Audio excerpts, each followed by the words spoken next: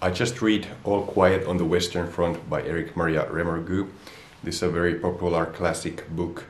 It's written by a German author uh, who, used, uh, who was in the World War One. This tells the story of the schoolboys, he and his classmates who had to go to World War One. They have actually made a movie about this book as well, and I haven't actually seen it. I think I should watch that movie. Uh, but yeah, if you are interested, by the way, after watching this review of this book, uh, I have linked this book in the description, uh, so you can order it from bookdepository.com. Uh, they have free shipping worldwide, um, but yeah, it's in the description. But yeah, this is a novel written by him, uh, somewhat based on true stories as well, and very well written.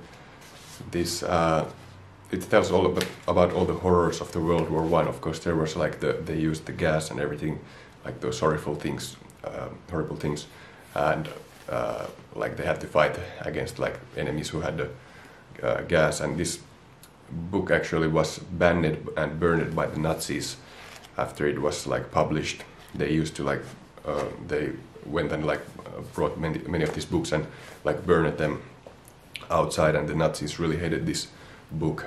And this guy was actually only one who survived from his whole class from the war, and of course it was a horrible war, so that's why the Nazis kind of like tried to deny it and stuff. And then of course World War II came after that, which was also horrible. But um, yeah, this is a well-written book, not too long. It's just 207 pages. Highly recommend reading this if you haven't. This is a very classic, popular book, popular novel. So get it from the link in the description. Thanks so much for watching.